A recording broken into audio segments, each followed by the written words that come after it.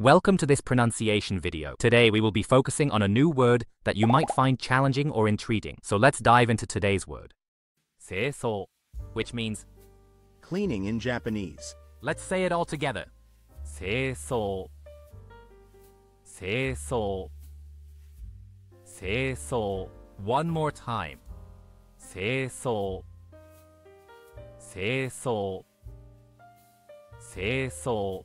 Thank you for joining us on this adventure in pronunciation. Remember, language is a journey, not a destination. Keep exploring, experimenting, and expanding your linguistic horizons. We'll see you next time.